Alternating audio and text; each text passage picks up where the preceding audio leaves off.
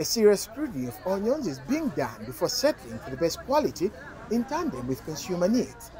For 52-year-old Sonile Banda, a trader from Lusaka, Mtendere Township, her focus is on the smaller sizes of onions because most consumers in the area don't have storage facilities. Our customers prefer smaller onions to big ones because some don't have fridges to store the remainders.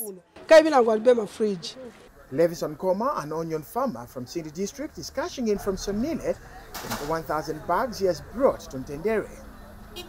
For him, the smaller onions are selling like hotcakes for obvious reasons. Small sizes, they are the ones that are on demand. Yes, bigger sizes, they go slow. It's because you find that in one pochi, uh, there are more than bigger ones. So for the marketeers to sell, it becomes difficult for the big ones, but for the small ones, they make profit, more profit. However, the continued importation of onions has had a negative impact on its pricing. Since the prices also are down because of the supply from these other countries outside like South Africa, we found it difficult. So we are just giving it out at a giveaway price.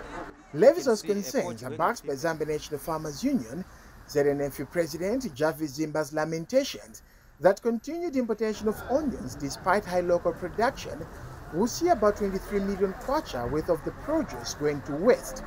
But Ministry of Agriculture Permanent Secretary Green Mbozi has charged that ZNFU members currently only have larger onions which are not on demand, hence chain stores turning to imports.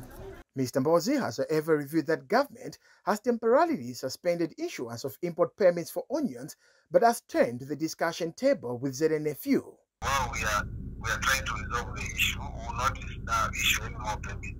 So we want data uh, on what, what is currently available on the types of onions, what quantity, and then what is the national consumption for the onion. Brian Moale, ZNBC News, Lusaka. Remember to hit the like button, place a comment, and subscribe. Thank you so much for watching.